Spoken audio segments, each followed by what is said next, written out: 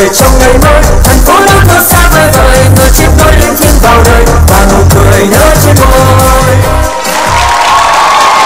Như vậy là Sông Châu đã có một phần khởi hành ờ, không chỉ rực rỡ mà còn cực kỳ tưng bừng và máu lửa nữa. Và thực sự là họ đã khuấy động được cả trường quay của giờ thứ 9 Trong đó thì ờ, có cả lực lượng cổ động viên của đội đối thủ. À, Tôi đang ngồi giữa một rừng áo vàng ở đây và tôi phát hiện ra một người mà khi Sông Châu biểu diễn thì cười tươi nhất. Tôi tên là Minh Hải, tôi đến từ Liên đoàn Lao động tỉnh Hà Nam, Công đoàn các khu công nghiệp ạ. Tôi thấy được là sự vui tươi lan tỏa âm nhạc rất là sôi động mang đến cho khán giả sự uh, nhiệt huyết. Nhiều bạn gái rất là uh, xinh đẹp ạ. Ôi trời ơi, chàng trai này thực sự là cực kỳ là thật thà nhá Hỏi một lúc thôi là có bao nhiêu khai ra hết và bây giờ thì đội của bạn Hải, đội hướng dương sẽ chính thức khởi hành rực rỡ Cũng là một tiết mục nhảy cực kỳ sôi động Với phần âm nhạc của Vũ Hoàng, biên đạo Nguyễn Vân Anh. Chúng ta sẽ cùng đến với tiết mục Khát vọng tuổi trẻ.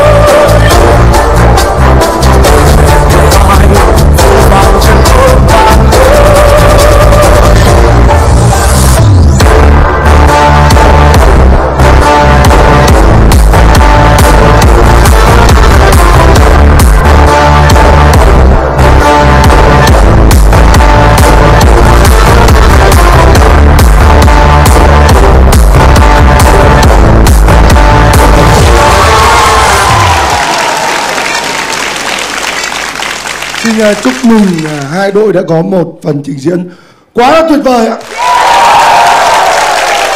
Mà phải nói rằng là cái tên nói lên tất cả. Đội Sông Châu thì biểu diễn cứ như là những cái con sóng ấy, nó cứ ồ ạt.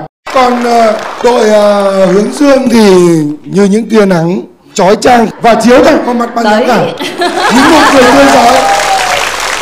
Nói chung là hay, đẹp và bây giờ khó xử.